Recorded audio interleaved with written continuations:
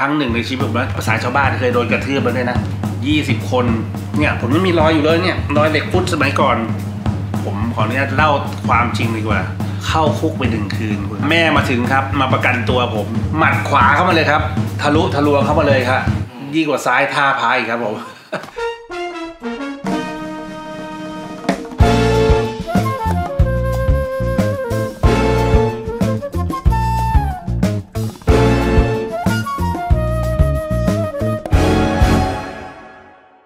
เท่าที่เท้าความได้นะผมน่าจะเกิดจากโรงพยาบาลหัวเฉียวนะ เกิดโดยประมาณประมาณสองทุ่มยี่สิบพอเกิดเสร็จแล้วก็เราก็จะไปอยู่ที่ประตูผี แล้วก็ไปอยู่ท่าพระจันทร์อยู่ได้ไม่กี่ปีก็ย้ายอีกแล้ว ย้ายไปอยู่คลองเตยทางคุณแม่เนี่ยได้รับความไว้วางใจจากท่าน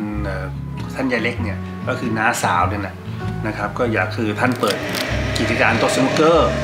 นะ ท่านท่านเป็นเจ้าของไม่ใช่แม่ผมนะ แม่ผมเป็นในนามเป็นผู้เฝ้าเป็นผู้ดูแล โต๊ะสนุกเกอร์สมัยก่อนต้องบอกผู้ผู้เหมือนยุคอันธพาลทองเมืองนะสิบแปดมงกุฎเยอะ ยาเสพติดเยอะ ตีกันทุกวันขโมยของทุกวันฆ่าข่มขืนทุกวัน จริงๆ ผมเป็นคนสุดท้องนะปีพี่น้อง 4 คนมีพี่ติ๊กพี่ตุ๊กพี่ติ๊กคือผู้ชาย มีผู้ชาย 3 หญิงหนึ่งพี่ตุ๊กก็จะแก่กว่าผม 10 ปี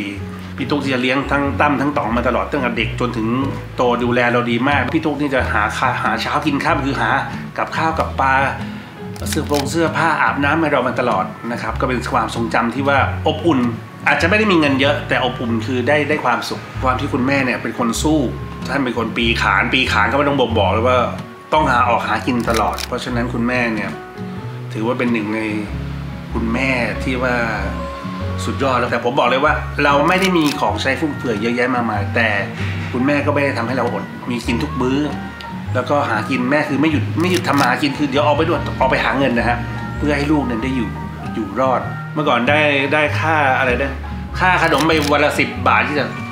วันไหนที่ผมเหลือมากินก๋วยเตี๋ยวได้ถือว่าสุดยอดนะครับ ก็คือนี่คือความที่เรา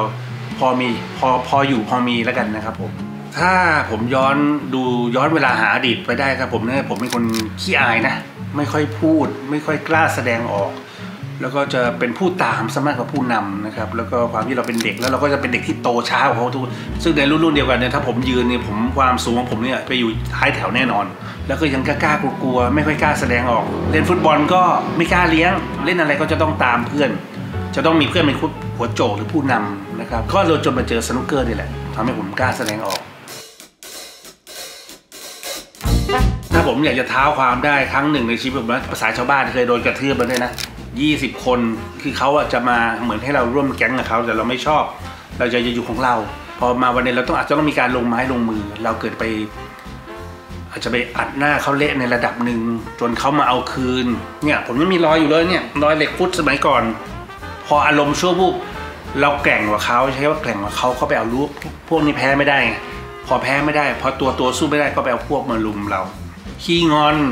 ขี้หงุดหงิดง่าย ใจร้อนง่าย ใจร้อนแบบเขามองหน้า ผมก็จะบอกมองหน้าหาด่าแม่กูเหรออะไรเงี้ยคือจะคือเป็นคนอารมณ์ร้อนเนี่ยคือร้อนตามฮอร์โมนหรือเปล่าหรือซึ่งซึ่งเราเราย้อนเวลาหาดีไปผมรู้สึกว่ามันเป็นนิสัยที่ไม่ดี แล้วก็มีวิธีการอีกอย่างหนึ่งที่ผมจำแม่นเลยคือตอนนั้นสยามสแควร์ผมขออนุญาตเล่าความจริงดีกว่า ผมไปขโมย M&M ช็อกโกแลตครับ แล้วก็โดนเขาจับกล้องได้ มันมีกล้องเขาเรียกอะไรกระจกแบบมองตรงนี้ทะลุไปตรงนั้นเลยโอ้โหรุ่นใหม่เลย คุณต๋องไม่รู้เรื่องนะไม่เคยและก็เข้าคุกไปหนึ่งคืนคุณ อันนี้เรื่องจริงไม่เคยบอกที่ไหนมาก่อน แต่ไมันเป็นเรื่องจริงที่ว่าแม่มาถึงครับ มาประกันตัวผม สิ่งแรกที่คุณแม่มาหาผมคืออะไรรู้ไหมคุณ หมัดขวาเข้ามาเลยครับ ทะลุทะลวงเข้ามาเลยครับยิ่งกว่าซ้ายท่าพายอีกครับผมจากวันนั้นมาผมก็หยุดการขโมยเลย เมื่อก่อนผมไปขโมยประมาณสี่อาทิตย์นะ ได้ทุกอาทิตย์ได้หนังสือได้ช็อกโกแลตแต่ไม่ได้มองไม่ได้ขโมยอย่างอื่นนะไปกับพี่ชายลูกพี่ลูกน้อง น่าจะโดนประมาณอาทิตย์ที่สี่ครับแม่ก็เลยไม่ชอบคนขโมยไม่ชอบคนโกหกแล้วตั้งแต่นั้นมาผมก็ไม่เคยโกเอ้ยไม่ไม่เคยขโมยอีกเลยโดนปุ๊บหยุดเลยนะโดนแม่ทำโทษแบบโอ้ยแม่ดุมากคือทำโลให้ยืนอยู่ในขีดวงกลมเลยฟาดด้วยไม่คิวอะคุณแม่ฟาดด้วยไม่คิวอะโอ้โหแบบดูเวลาแม่ตีนี่ตีแบบสุดยอดครับ แต่ทุกคนก็ผ่านการ ตีหรือว่าผ่านโดนการโดนกระทืบของคุณแม่มาหมด แต่ก็คุณแม่ก็อยากให้เรารักเรียนนะการที่เราเลี้ยงลูก ผมคิดว่า พอเวลาเราย้อนเวลาหาดีไปนั่นแหละเป็นสิ่งที่อาจจะรุ่นนี้สมัยนี้อาจจะเขาเรียกอะไรอาจจะดูรุนแรงไป ผมอยู่ในคลองเตยก็จริงแต่ไม่ถึงกับอยู่ในพื้นที่เดียวกับสลัมคลองเตย ซึ่งเข้าไปในท่าเรือผมถึงว่าแต่ผมขอบอกได้เลยครับว่าไม่ว่าผมจะไปเที่ยวที่ไหน หรือไปคุยกับใครไม่ว่าจะเป็นหญิงหรือชาย ผมถ้าใครเขาถามผมกลับมาว่าผมมาจากไหน ผมผมบอกตัวว่าผมมีปมตั้งแต่เด็กคือ ผมไม่กล้าบอกว่าผมมาจากคลองเตย